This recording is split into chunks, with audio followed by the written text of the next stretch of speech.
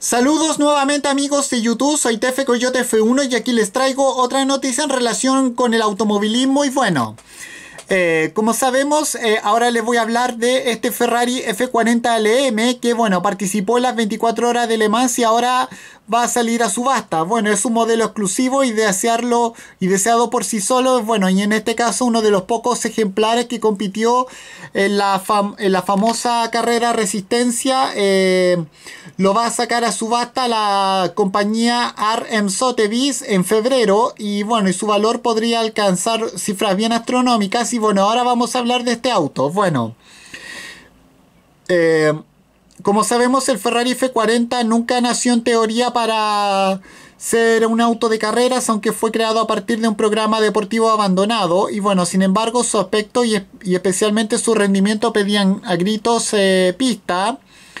Y fue por eso que en el año 1992 se creó una versión denominada F40LM, diseñada por Michelotto eh, para competir en carreras y especialmente en las famosas 24 horas de Le Mans, como precisamente señalan esas dos letras de su apellido.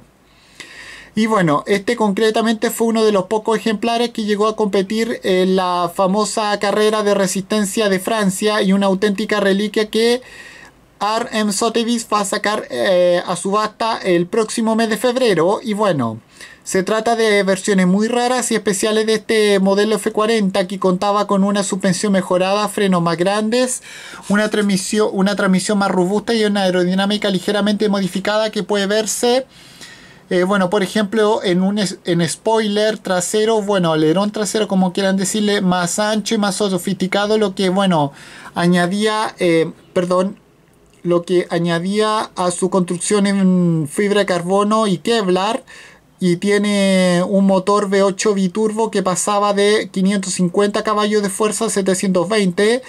Solamente 19 unidades de esta clase fueron producidas y bueno.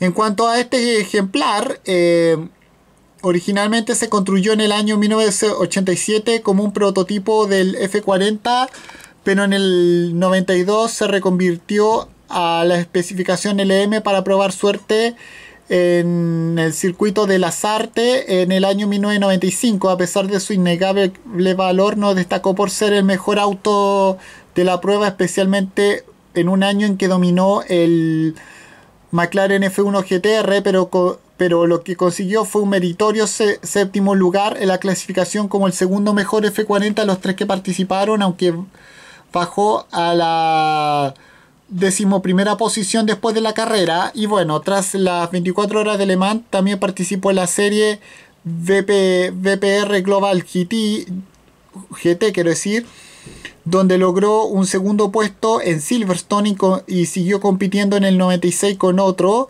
aunque de nuevo frustrado intento de Le Mans para después retirarse definitivamente de la competición. Su última carrera fueron las 4 horas de Nogaro, donde terminó tercero y donde llevaba la misma decoración azul y blanco que sigue llevando ahora en esta, como lo muestra en estas fotos. Y bueno, eh, su rareza es tal que la compañía RM Sotheby's solo ha vendido otro ejemplar del mismo tipo en toda su historia. Y bueno, lo que significa que quizás sea la única oportunidad de hacer, de comprar una máquina como esta. Y bueno.